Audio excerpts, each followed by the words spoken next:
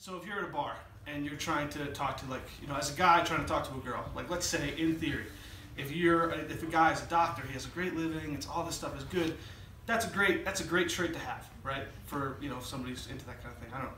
But if you go up first thing in a bar and you come to a girl say, "Hey, I'm a doctor," kind of crazy, right? Yeah, doesn't, just so hot. doesn't really make a lot of sense. yeah, right. Might wear out. But um, so if I just came for this song, if I just came, sat down and just